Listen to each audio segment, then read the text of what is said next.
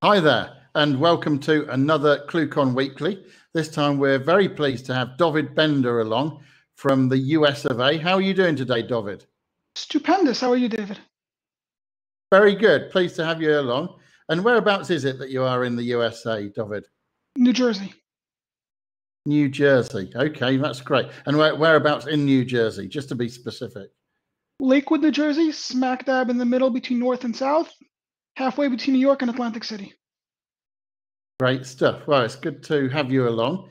And uh, we've known each other a good while because I've seen you at various Astricons and ClueCons. Uh, so I know you're a man of VoIP experience. I've seen you speaking at Astricon.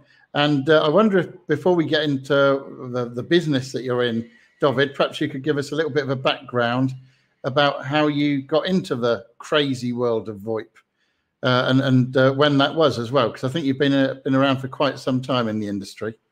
Yeah, so I was always a tinker. I always liked technologies. I think I broke more computers than I fixed, but it was a lot of fun pulling, pull, pull, pulling them apart. I was not in the IT business. I was working in EMS in the medical field, and I was out for a couple of days. And I walked into a friend's shop that had an IT shop, and I saw what looked like to me a four port modem and to me, that was a new toy. It was an old PCI card. This was probably back in, I want to say 2002, 2003. And I said, oh, wow, this is a really cool modem. How does this work? Instead of having one connection, we could have four dial up connections. 256 kilobits, that's a lot. Um, and he corrected me and said, no, that's not the, a modem. That's actually something for a project called Asterisk. And I said, what's that? And he said, Google it. Um, I Googled it. He showed me a one page manual from somewhere online. And I got all excited. This this was, this was my um, second introduction to Linux. The first one was doing basic web hosting. So I, I knew a little bit right. about Linux. I think it was the first box that I got pawned. I didn't know what I was doing. I set it up, username, root, password, root, figured what could go wrong. I think it took all of mm. 30 seconds before it got hit. That was my first introduction to fraud. Um, brought, brought the box up, put in ModProbe, saw the little green lights on the FXO light up, got all excited, started playing with it, and then it took off from there. And I said, "There's no way this could be that easy." Keep in mind, back then in Asterisk, there were no GUIs. Everything was from the command prompt, but Mm. Still, that was the one of the easiest things I've ever set up and started playing with it and just took off from there. I just excited, loved it, and it was the first thing I was able to play with and instantly see a result within a day or two making phone calls. Excellent. Now, you said you're from a, an EMS background. So, um, having found Asterisk, uh, what kind of made you take the leap and, and put it to work from a business perspective?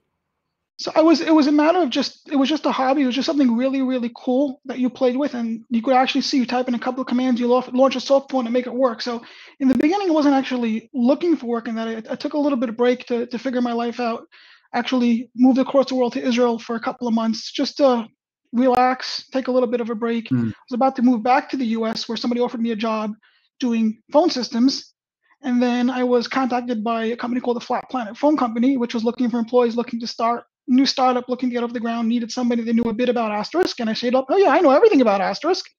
So they hired me, and then I learned everything about Asterisk, and slowly, you know, over time the company grew. So I knew how to start Asterisk. I knew how to write a couple lines of dial plan.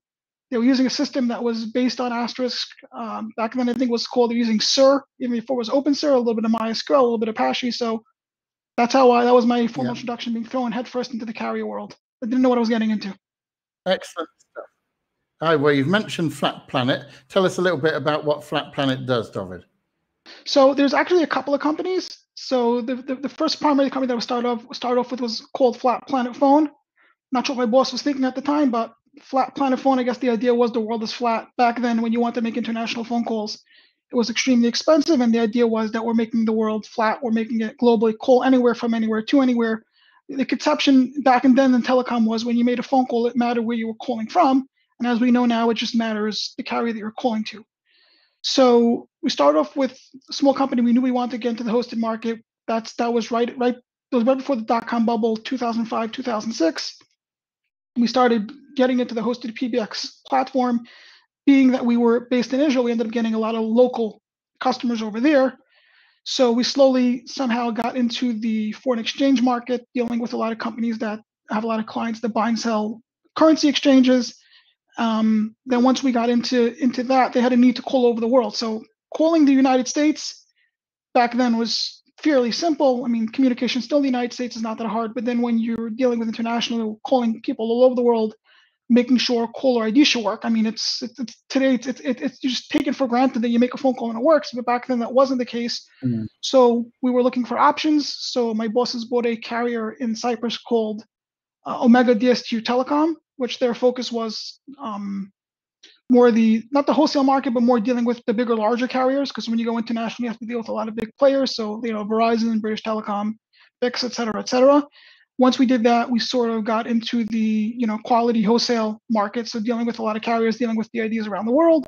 Eventually, they bought another company in Israel mm-hmm. called One Five Hilo, and then the company grew from there. So we started, I think, in New York with a small data center with two servers, and now we have New York, New Jersey, Saint Denis, France, Nicosia, Cyprus, and a pop in Rosh HaAyin, Israel. So yeah, small little company started with two servers to uh, global presence.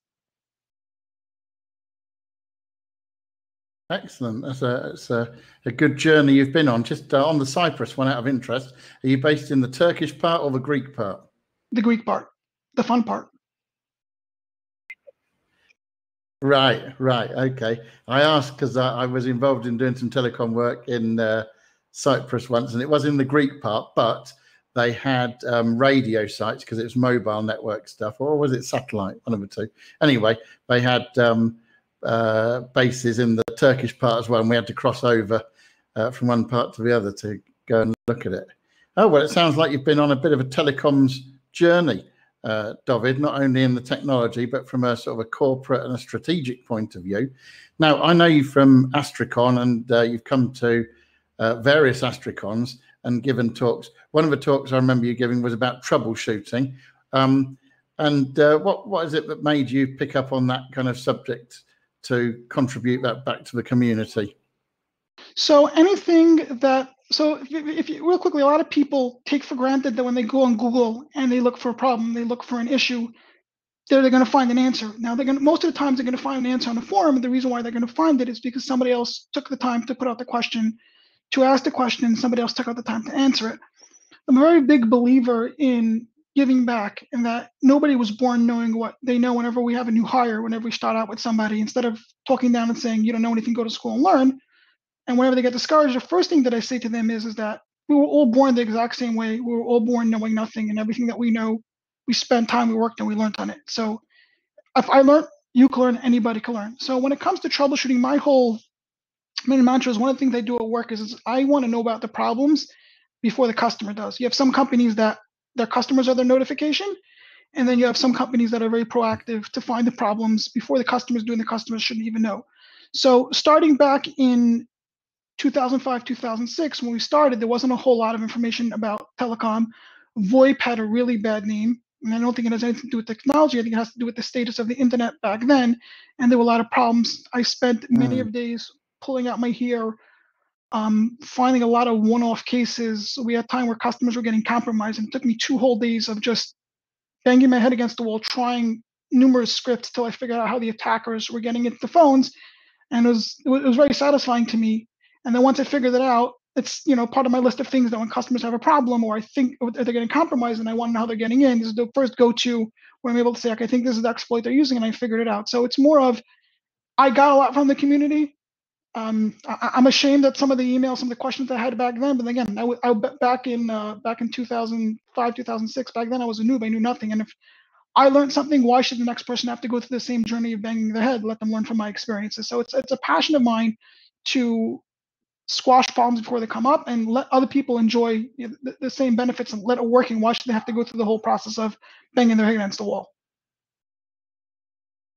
Yeah, very community spirited, and that, that you know that is what makes the community great. Is people prepared to share their knowledges, uh, sorry, their knowledge and their experiences, um, because you know, as you correctly said, we all we're all born the same. We all come to this place from different angles and so you can't expect everybody to kind of know the same things. And uh, yeah, that's uh, that's great, David. Um, what what other kind of talks have you done aside from the troubleshooting ones? So I've done troubleshooting. I've done a couple of talks about fraud. That's a passion of mine again. back in the day when we started, people had Asterisk boxes open. I mean, you still have, I mean, I, I have one SIP proxy up that gets more calls per day of people trying to get free phone calls out of me than actual legitimate calls. So fraud is a big pain. Um, we have one customer that had a SQL injection on their site and lost $35,000 in 10 hours. Um, Nir Simionovich has had cases where people have lost over a weekend a quarter of a million dollars. So that's something that I take personal. And then when I see these guys coming, I love toying with them. I love misdirecting them. I like setting up web servers. Um, and one of my talks, I, had, I put up an Apache server with a 000.cfg, let them think it's a provisioning server. There was no even domain on the server. There was nothing. Somebody was out there looking for it, and they did, I think, 20 million requests in about 23 hours. So I spent the day of their time hitting my server, getting absolutely nowhere. So that's one of the things that um, I'm passionate about is stopping the attackers. Um, the other thing is is another talk that I gave about is, is, is I, I, believe the talk was why is international calling so hard or something like that. There, there's so much at play. There's so many issues when it comes to making phone calls. It's it's 2020. We take it for granted. We think that we make a phone call, it'll just work. But then when you start walking through all the issues and all the problems, believe it or not, a lot of politics not related to the telecom world, but then it bleeds over to the telecom world, you start having problems. Um, I'll, I'll, give you an example. Hmm. South South Africa, for instance, used to have a very moderate cost, what it would cost to call the country, um, and then there was some kind of skirmish with the the equivalent of the FCC or the Ministry of Communications there, where all the carriers basically high one over them, and they said, yes, you could regulate our rates, what we're going to charge inside the country, but it's not up to you to re- regulate the rates of sorry, how much it's going to cost to bring in calls out of the country. So overnight, the rate went up. I think it was 8x, 800% for what it would cost That's us to call to call South Africa. So then the problem that you then have is everybody using free routes, everybody using GSM gateways ends up being a problem. Now we're talking with I'm not going to name the carriers, but we're talking with the big tier one carriers even they, although they say it's all white routes connected directly to in-country, even they're having problems. So we're they're going to be sending a phone call, and magically our customers hear a message saying you don't have enough money on your account. Think that they ran out of their balance with us, mm. and it turns out somebody's sending the calls to that country using a GSM gateway to lower their costs. So you would think as time progresses we would get better and better quality, but unfortunately it's it's it's like a whack-a-mole. Every single time you fix one problem, another one creeps up. We just had recently an issue to a country, the Philippines, where again, my only solution was to find a local carrier. The last few days we've been using them, we've been very, very happy, but it's a matter of, and then this also comes back again to the troubleshooting is writing all the software, writing all the scripts, looking at your ASRs, looking at your ACDs, looking at the reports, making sense of them to just keep up and make mm. sure your, your quality is there because if your customers aren't happy, they're going to go elsewhere. Absolutely. Yeah. So now you mentioned security being a, a pet subject of yours, and you mentioned that you uh, uh, occasionally play the, the scammers or the would-be scammers along. And when you said that, it made me think of the YouTube videos you watch where people um, kind of fight back. And uh, one of my particular favorites is when the guy is cashing in the the the voucher codes. I think I don't know whether it's Target or Walmart vouchers or something, or eBay, but the the, the guy the the called person who's meant to be the subject of a scam is actually on the you know on the on the offensive. Um, and have you have, uh, what experiences have you had there? Do you find the scammers are resilient people, or once you've kind of played them, do they run off? So I, this is two things here. So number one, when I'm talking about playing them, I'm talking about setting up be just putting servers out there, letting them thinking they got into something, letting them think they got phone calls. Like all my Asterisk servers, I, I, do work, and then I have stuff that I do on the side. I build custom solutions on the side. Every single server by default is set up that any call that you send me will automatically answer and make believe like it's going somewhere. So as a free public service, whatever, so long as my clients let or for my own boxes, if you send me a call, I will take it, and you will think you're getting somewhere, and I will waste your time by default right. because I'd rather them hit me and I know what I'm doing than hitting some other poor guy that doesn't know what they're doing. And unfortunately, you still have a lot of people like that where using a 100 password 100 for their SIP account is still perfectly fine. As far as scammers, so I actually won a prize, I think, both at Astricon and at ClueCon, where in the United States we have the IRS scammers, the um, the, the card scammers. They basically they try to get you to give them codes. So th- th- these numbers are readily available you could go on Twitter and find these numbers. So one of my demos actually built the system um, like I said, ClueCon and Astricon, where I went ahead and pounded their phone lines, and I wrote an algorithm to change their phone numbers so they, if you call them too often, they just block you. And I pretty much maxed out their phone lines, and then people trying to call and they just couldn't get through because I um I blocked them. So I don't toy with them. I just make sure that nobody else can get through to them. So they just you, they just shut down their phone lines because they're not getting any work done, which is exactly what I want. That's a great public service right there, David. Top class. Um, now, uh, actually, uh, uh, you just as an aside, have you come across um, Fred Posner's project, the APIban.org project? I've seen it. I haven't. I haven't integrated with it. I should. I haven't played with it enough. I just don't have time for all my little pet projects. If I did, I wouldn't make any money. But I did see yeah. it. I did sign up for it. I never actually um, went ahead and implemented it. Yes, because he, he, like you, he's got some honeypot PBXs out there, you know, that attracts these people, and then he logs their IP addresses. And the, and the the the most succinct way I can think to describe it, it's like a fail2ban. Call, not after they call or before they try, I should say, because what it does is takes the the IP addresses of the bad actors trying to climb on his honeypot PBXs and puts them into a list that uh, then blocked from calling into any system that's protected by it. Anyway, just an aside, uh, we ought to have Fred back on at some stage on ClueCon Weekly. We've had him on before talking about it, but it'd be nice to get an update now that uh, we're a few months in. Now, you mentioned that you won uh, prizes at both um, and ClueCon, and yet I believe, uh, David, that from a professional point of view, virtually all your implementations are Asterisk. Is that correct? Everything is asterisk. I've limited to toying around with FreeSwitch to help customers. I, I one of the many things I keep promising I'm going to learn. Like I said, I've set it up, I've ran it, I've, I've played with it. I have the book, I read it, but that's been my um, the max that I've unfortunately that I've ever done with with uh, FreeSwitch is setting up conferencing and saying, hey boss, so you can do really cool stuff with this. But the switch that we're using is using asterisk, so primarily I'm I'm an asterisk man. I've been doing it since like 2003, 2004, and it's really hard to change your habits. So, as an asterisk man, David, what is it you get from coming to ClueCon? Because you're quite a regular at ClueCon. So it's the, the shows are not just about the underlying technology that that particular show is about. So Asterisk is not just Astricon is not just about Asterisk, and ClueCon is not just about FreeSwitch. So going to ClueCon, you meet a lot of people in the industry. You make a lot of good friendships. I remember one year I met Michael Mavridis from VoiceTel, I came in, I didn't know anybody. It was my first year. I was very, very shy. I was speaking to Brian. I met him previous years at Astricon. And I said, you know, who here could I know? And he invited me to Michael, became very good friends with him, use him now as vendor. We hang out. You meet a lot of people in the industry. And it's like, it's not just about FreeSwitch, it's about what everybody else is doing. And then you also see the trends of the technology where it's going to be going. So I believe it was Mr. Rosenberg, I forgot his first name, who was talking about a new protocol last at the last ClueCon about QUIC which is, is is far off. It's not around. It's not going to happen anytime soon. But you know, it's in the pipeline. The way I learned about that and the way I knew about that was by coming to ClueCon. So ClueCon is not just about one specific technology. It's about the technology in general. You're going to have more about FreeSwitch because it's it's it's being ran by the FreeSwitch gang. So you're going to learn, you hear more about that than about Asterisk. But every demo that I did up there was about Asterisk because that's what I know. But it's not, like I said, it's not just specifically about FreeSwitch. It's about all telecom related technologies. Very much so. We welcome people from all over the open source communications space, you know, whether they're hardcore WebRTC webby people or whether they're involved in other projects like Asterisk or Kamailio or OpenSIPs, everybody is welcome at ClueCon.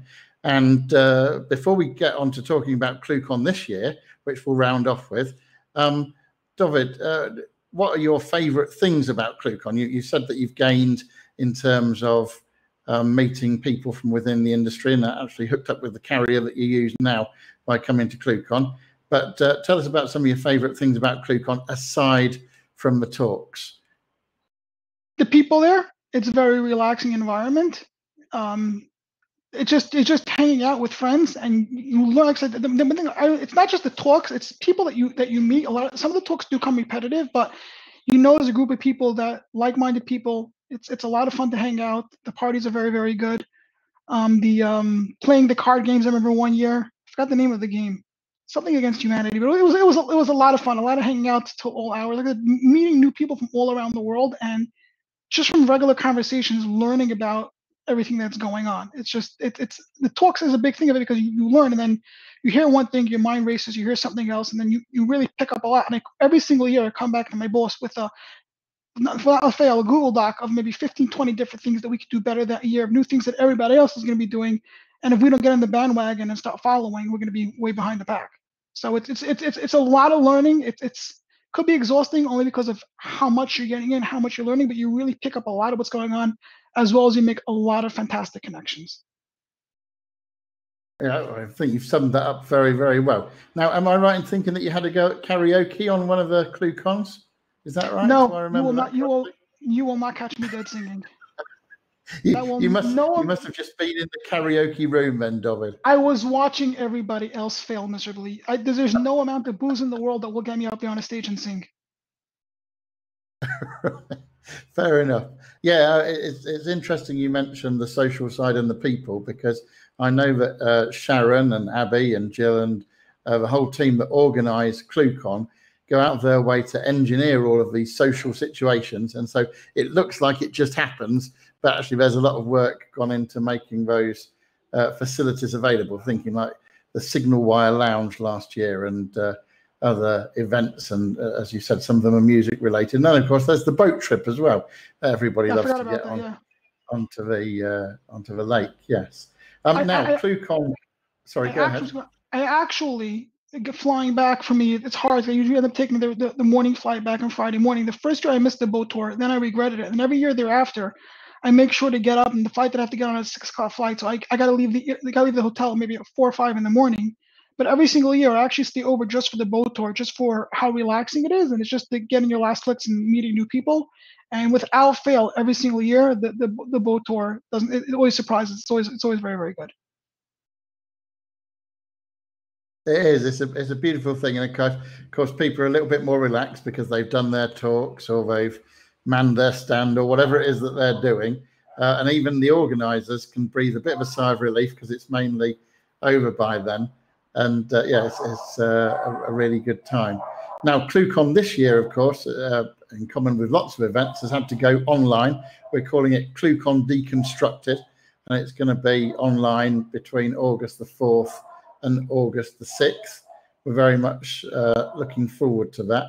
Um, are you planning to attend, David, this time around?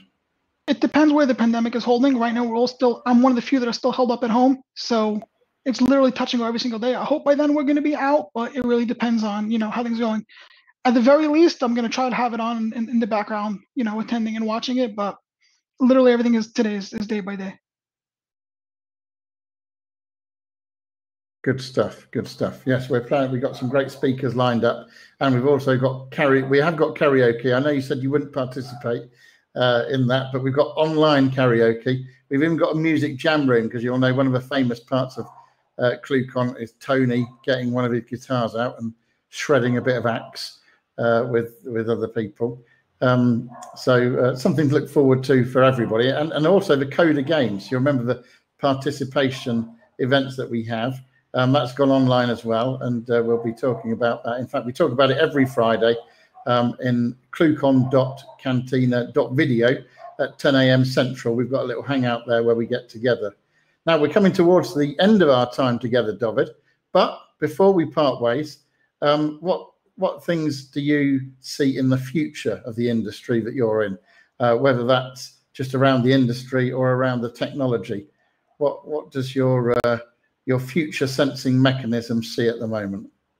I think you're going to see a lot of more direct platforms out there. For instance, you have WhatsApp, you have Facebook calling, you have well, Viber's been out for a while. You have a lot of that direct.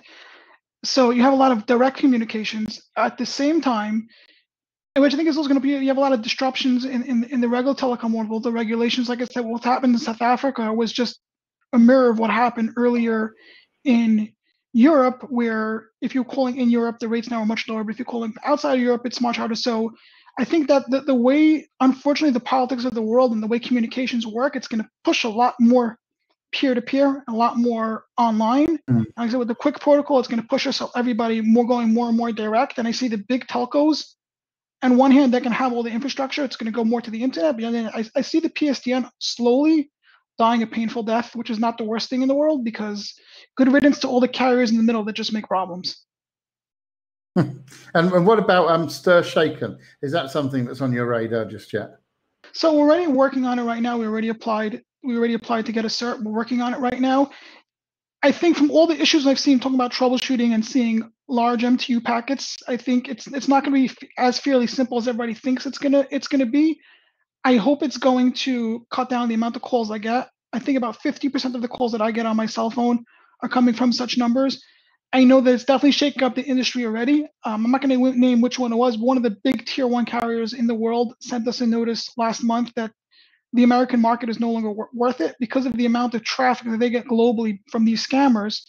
The amount of work that they're going to have to put in for the small margins that they're going to get to send the phone calls to the United States, they just bailed out, and you can no longer even send them phone calls to take to the United States. So I'm, I'm hopeful over there it's going to help out. I would love to see it work on a global scale. So it's not like in America, yeah, we're taking care of ourselves. From what I understand, Europe doesn't have that problem, but you, you have a lot of apps out there that are geared to stopping spam. So it is it is it is a problem in the other industries. I would love to see it being adopted on a global scale. And like I said, if everything is going to be more in an IP world, and you'll be able to see where the traffic is coming from, it'll be a lot more easily identifiable to see, you know, certificates and see where the where the calls are coming from. And then if you see a bad actor, you just take them out.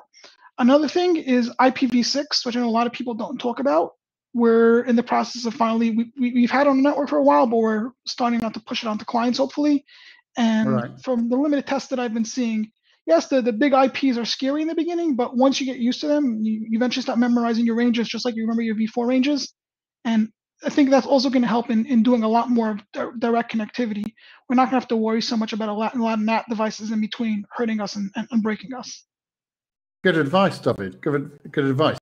Now, during the conversation, we came uh, across the fact that in terms of your Astricon speeches, you see that as part of giving back to the community to pass on the things that you've learned um, and things that you've experienced. I wonder if in closing, you could talk a little bit more about that kind of giving back, not only what you've given back, and, and maybe there are other examples in addition to the uh, talks. I don't know whether you've contributed documentation or anything like that, but if you could also outline some general ways that other people could give back as well. Maybe they're not prone to giving talks at conferences. What other ways could people give back? Whatever, whatever you feel comfortable with, whatever you're in your comfort zone. If it's, you know, even installing Asterisk and trying to get it to work, and then you find problems, even if you're not going to be able to find the solution, the fact that if you find the bug helps it for the next person that's going to find the problem. I just was on the Asterisk email list the other day. I found the problem. I found a workaround to fix it didn't have time to follow up, but I actually wrote an email saying, even though I found a workaround the issue, from what I understand, it is a bug, and I do plan on reporting it, even though it's not hurting me, because it's going to hurt the next person.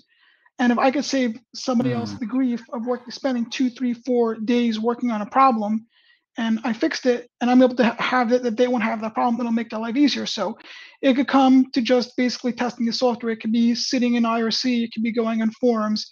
It could be documentation it can be whatever you're comfortable with. Just recognize that open source is not something, although it is free, it's not something that we should all just take for granted and use because if there's nobody contributing back, there goes the community. The community is only as strong as the people contributing to it. So for me, I'm not that versed in FreeSwitch, but when I do come to ClueCon, I do like speaking to people. I do like giving people ideas. Like a tool that I use is VoIP Monitor.